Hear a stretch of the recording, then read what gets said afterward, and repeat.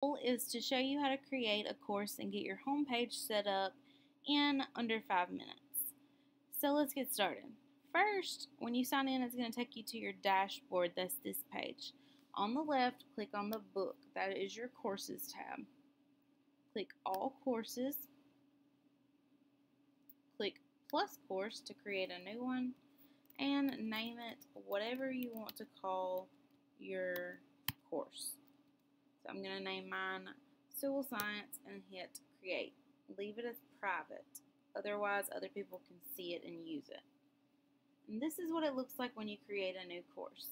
So far, we're going to go to choose. We're, we're going to ignore all this stuff right here. And we're going to go to pages. Sorry. Alright, so go to pages. And we're going to plus page and we're going to call it home. This is going to be our home page. Okay, so if you have already made some images you want, like your banner or your buttons, and we'll talk about how to make those in a different video, you're going to insert them. So click on images, click on choose file.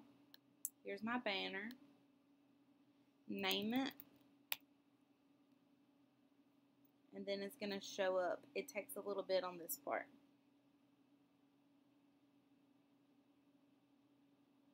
It'll show up wherever you put your cursor. So you're going to click where you want it to be. I'm going to highlight it and I'm going to click center because I want it to stay in the center of the page.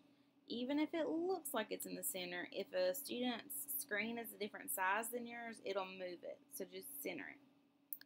Alright, so then to add buttons, it's best to use a table to keep them spread out evenly. So you can add however many rows and columns you need. You can change that later as well. Then click on Table Properties and on Border change it to 0. They won't show up then. Now you're going to add in the pictures you want to make links for your different parts of your um, homepage.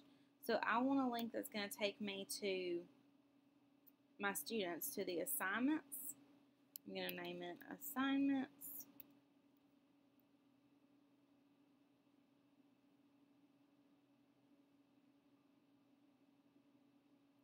Again, this part is the slowest part.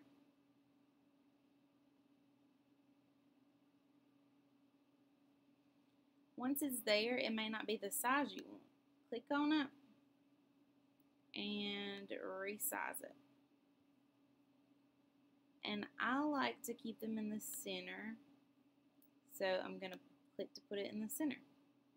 Then I'm going to click in my second box and I'm going to put another picture this one is going to be a clickable link so my students can get to their newsletter instead of me making copies every week. You have to click in the box or it'll go somewhere else. So make sure you clicked in the part of your table you want.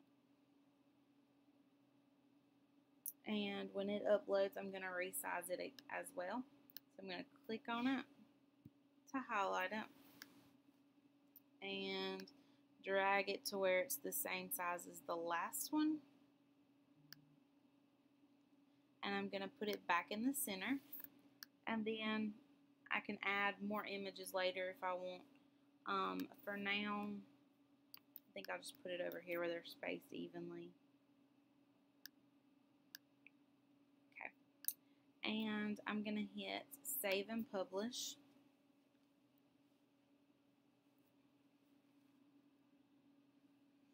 So here's what it looks like so far, and I'll add to it as I go.